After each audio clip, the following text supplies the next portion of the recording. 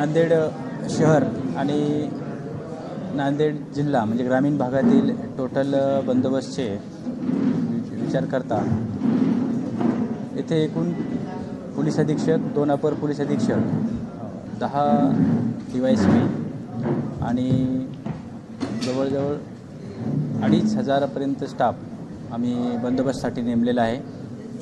यामध्ये काही M P एकडनं सुद्धा आम्हाला अधिकारी मिळालेले आहेत. नंतर जालना पी टी एसचे कर्मचारी आम्हाला मिळालेले आहेत बंदोबस्तसाठी.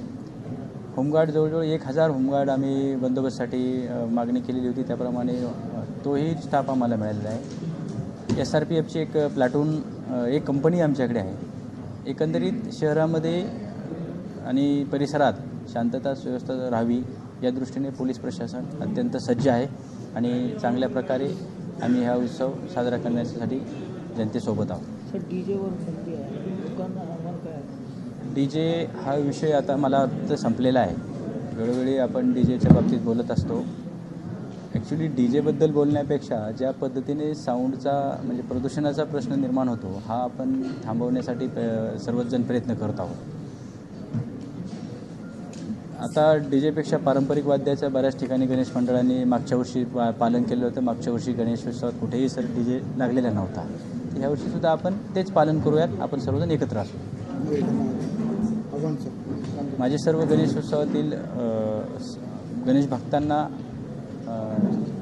आव्हान आहे की हा उत्सव आपण चांगल्या प्रकारे कसा साजरा करू या दृष्टीने सदोदित प्रयत्न करावेत. माननीय कलेक्टर सरांच्या मार्गदर्शनाखाली आपल्या जिल्ह्यामध्ये चांगल्या हा उत्सव साजरा होईल. खेळीमेळीच्या वातावरणात आपण सर्वजण एकत्रित शहरातील तसेच विविध तालुक्यातील बंदोबस्त म्हणजे उत्सव साजरा होईल आणि सर्वांना यामध्ये चांगला आनंद राहील या दृष्टीने आपण प्रयत्न कर करूयात. याच दरम्यान मोहरमसारखा सणसुद्धा चालू आहे.